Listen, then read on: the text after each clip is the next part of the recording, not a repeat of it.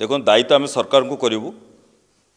Rourkela municipal corporation ଆଉ ରାଉରକେଲା ସହର ହେଉଛି ସ୍ମାର୍ଟ ସିଟି। ଗୋଟେ ରଙ୍ଗୀନ ଚିତ୍ର ଗୋଟେ ପର୍ଦ୍ଦା ଢଙ୍କା ହେଇଥିଲା ରାଉରକେଲା ଉପରେ। ପର୍ଦ୍ଦା ହଟିଲା ପରେ ରାଉରକେଲା ସହରର ପଚାଶ ଭାଗ ଅଞ୍ଚଳ ଯାହାକୁ ବସ୍ତି ଅଞ୍ଚଳ କହୁଛେ ସେ ଯେଉଁ ପରିସ୍ଥିତି ଥିଲା ସେଇ ପରିସ୍ଥିତିରେ ପଡ଼ି ରହିଛି। ସ୍ମାର୍ଟ ସିଟି ନାଁରେ ବିଭିନ୍ନ କଲୋନୀକି ତ ସିନା ଡେଭଲପ୍ କରିଦିଆଗଲା। କିନ୍ତୁ ମ୍ୟୁନିସିପାଲ କର୍ପୋରେସନ ଯେଉଁ ଦାୟିତ୍ୱ ଥିଲା ବସ୍ତି ଅଞ୍ଚଳକୁ ଡେଭଲପମେଣ୍ଟ କରିବା ତାକୁ ସେମାନେ କଲେନି।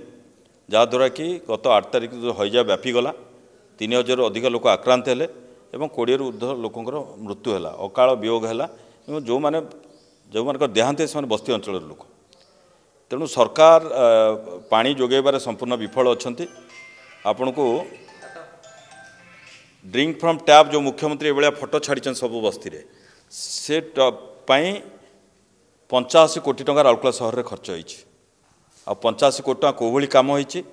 କେମିତି ତଳେ ସବୁ ପାଇପ୍ ଲିକ୍ ହେଇକରି ମେନ୍ ପାଇପ୍ରେ ଡ୍ରେନ୍ ପାଣି ମିଶିଗଲା ଏପଟେ ସବୁ ଆପଣ ଦେଖିଛନ୍ତି।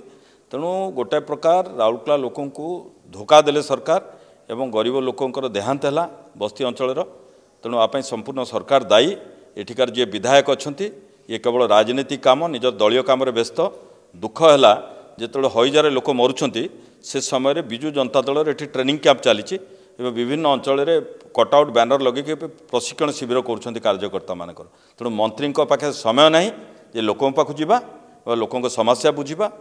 ଯେଉଁମାନେ ହଇଜାରେ ମୃତ୍ୟୁ ହେଉଛନ୍ତି ତାକୁ କେମିତି ରୋକିବା ତାର କୌଣସି କାମ କରୁନାହାନ୍ତି। ଶାରଦା ବାବୁ କେବଳ ପ୍ରଶିକ୍ଷଣ ଶିବିର କରିବାରେ ବା ଦଳୀୟ କାର୍ଯ୍ୟକ୍ରମରେ ବ୍ୟସ୍ତ ଅଛନ୍ତି। ତେଣୁ ଆମେ ଆକୁ ଦୃଢ଼ ନିନ୍ଦା କରୁଛୁ। ଆଗକୁ କେମିତି ସବୁ ଠିକ୍ଠାକ୍ ହେବ ଏବଂ ପାଣି ଯେଉଁ ସମସ୍ୟା ଅଛି ସେ ପାଣି ସମସ୍ୟାକୁ ଦୂର କରିବା ପାଇଁ ଆମେ ଦାବି କରୁଛୁ ହଁ ସେ ପୁରା ମିଥ୍ୟା ଇଏ ଆକ୍ଚୁଆଲି ହଇଜା କେବଳ ରାଉରକେଲା ସହରରେ ହେଇଛି ସେ ଯେଉଁ କହୁଥିଲେ ଝାଡ଼ଖଣ୍ଡ ବୀରମିତ୍ରପୁର ସୁନ୍ଦରଗଡ଼ରେ ହଇଜା ବ୍ୟାପିଛି ଏଠୁ ମିଥ୍ୟା ମନ୍ତ୍ରୀ ଏଭଳି କହିବ ଆମେ ତାକୁ କ'ଣ କହିବା କି ମନ୍ତ୍ରୀ ଇଏ କ'ଣ ବୁଝୁଛନ୍ତି କ'ଣ ଜାଣୁଛନ୍ତି ଯଦି ଇଏ ଠିକ୍ ଥାନ୍ତେ ଆଜି ରାଉରକେଲାରେ କୋଡ଼ିଏଟା ଲୋକଙ୍କର ମୃତ୍ୟୁ ହୋଇନଥାନ୍ତା ଅକାଳ ବିୟୋଗ ହୋଇନଥାନ୍ତା ତାଙ୍କୁ ବିଲକୁଲ ତାଙ୍କୁ ଯେହେତୁ ହଇଜା କେବଳ ରାଉରକେଲା ସହରରେ ହେଇଛି ଏ ହତ୍ୟା ସରକାର କରିଛନ୍ତି ଆକୁ ଆମେ ସରକାରୀ ହତ୍ୟା ବୋଲି କହିବା ତେଣୁ ତାଙ୍କୁ ଭାରତୀୟ ଜନତା ପାର୍ଟି ପ୍ରଥମରୁ ଦାବି କରୁଛି ଏବଂ ପ୍ରତ୍ୟେକ ପରିବାରକୁ ଦଶ ଦଶ ଲକ୍ଷ ଟଙ୍କା ସେମାନେ ଦିଅନ୍ତୁ ବୋଲି ଆମେ ଦାବି କରୁଛୁ ଆଜିର ଏଇ ପ୍ରେସ୍ ମିଟ୍ର ଉଦ୍ଦେଶ୍ୟ ଥିଲା ଏଇ ରାଉରକେଲାରେ ଯେଉଁ କଲେରା ବ୍ୟାପିଲା ଏଇ କଲେରା ବ୍ୟାପିବାର କାରଣ ହେଉଛି ପ୍ରଶାସନ ଏତେ ନିଚ କାମ କରିଛନ୍ତି ସେମାନେ ସେ କାମଟା ଏବେ ପଦାକୁ ପ୍ରକାଶ ପାଉଛି ଆସ୍ତେ ଆସ୍ତେ ଆହୁରି ମଧ୍ୟ ଆସିବ ଫାଷ୍ଟ ସ୍ୱାସ୍ଥ୍ୟ ଆସିଗଲା ତେଣୁ ଏବେ ଯେଉଁ ବସ୍ତିରେ କଲେରା ବ୍ୟାପିଲା ଏଇଟା ହିଁ ଜଳ ହିଁ ଥିଲା ମୂଳ କାରଣ ଏମାନଙ୍କର ଯେଉଁ କଣ୍ଟ୍ରାକ୍ଟର ବାହାର କଣ୍ଟ୍ରାକ୍ଟର ଏନଗେଜ୍ ଆଉ ସୁପରଭାଇଜର ଓଡ଼ିଆ ଲୋକ କରିପାରିବେ ନାହିଁ। କାରଣ ସିଏ ଆସୁଛନ୍ତି ତିନି ତାଲାରୁ ତେଣୁ ସେଠି ସୁପରଭିଜନ କିଛି ନାହିଁ। ଯେଉଁ କ୍ୱାଲିଟିର ପାଇପ୍ ପକାନ୍ତୁ ନା କାହିଁ ତାକୁ କେହି କିଛି ଦେଖିବାର ନାହିଁ। ଆଉ ଏଠି ତ ମ୍ୟୁନିସିପାଲିଟି କର୍ପୋରେସନ୍ ହିଁ ନାହିଁ। କାରଣ ଏଠି କେଉଁଠି ଇଲେକ୍ଟେଡ଼ ବଡ଼ି ବି ନାହାନ୍ତି। ଆଉ ଯିଏ ମନ୍ତ୍ରୀ ଅଛନ୍ତି ମନ୍ତ୍ରୀ ଆଉ ଏଡ଼ିଏମ୍ ଯେ ଚାରିଟା ବିଭାଗର ଦାୟିତ୍ୱରେ ଅଛନ୍ତି ଏ ଦୁଇ ଜଣ ଯାକ ପୁରା ଟୋଟାଲ ରାଉରକେଲାକୁ ଚଲାଉଛନ୍ତି ତେଣୁ ଏମିତି ଏବେ ଏବେ ବାହାରିବ ଗୋଟିଏ ପରେ ଗୋଟେ ଏବେ ତ ସ୍ୱାସ୍ଥ୍ୟ ଆସିଛି ତାପରେ ଆଉ କ'ଣ ଆସୁଛି ଆପଣମାନେ ଦେଖନ୍ତୁ ରାଉରକେଲାରେ ଯେଉଁ ହଇଜା ବ୍ୟାପିଛି ସେଇ ଉପରେ ଆଜି ଭାରତୀୟ ଜନତା ପାର୍ଟି ତରଫରୁ ସାମ୍ବାଦିକ ସମ୍ମିଳନୀ ଡକାଯାଇଥିଲା ତାର ମୁଖ୍ୟ କାରଣ ଯେଉଁ ନବୀନ ବାବୁ ରାଜ୍ୟ ସରକାର ସେ ଯେଉଁ ପ୍ରକାର ଷ୍ଟାଇଲ୍ ମାରିକି ଫଟୋ ଉଠେଇକି ଜଳ ହିଁ ଜୀବନ ଲେଖିଛନ୍ତି ବର୍ତ୍ତମାନ ତାଙ୍କ ଦୟାରୁ ଜଳ ହିଁ ମରଣର ସମସ୍ୟା କାରଣ ବନିଯାଇଛି। ତେଣୁ କରିକି ୟାକୁ ଆମେ ଆଉ ମନ୍ତ୍ରୀ ଶାରଦା ନାୟକ ଯେଉଁ ପ୍ରକାର ହାସ୍ୟାସ୍ପଦ କଥାବାର୍ତ୍ତା କରୁଛନ୍ତି ସେ ଜଣେ ମନ୍ତ୍ରୀ ହେବାର ଯୋଗ୍ୟତା ନାହିଁ ମନ୍ତ୍ରୀ ତ ମନ୍ତ୍ରୀ ବିଧାୟକ ପଦରୁ ଇସ୍ତଫା ଦେଇଦେବା ଦରକାର। କାହିଁକି?